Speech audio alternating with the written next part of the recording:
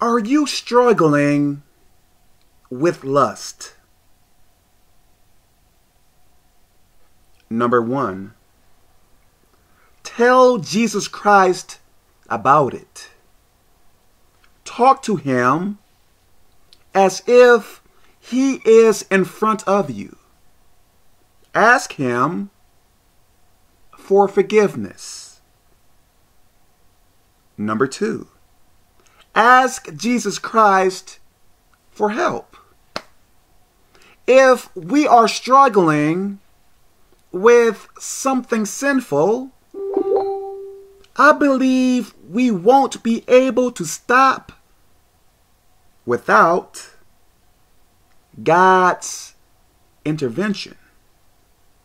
We are powerless without God. How can you function without God? Number three, learn to resist.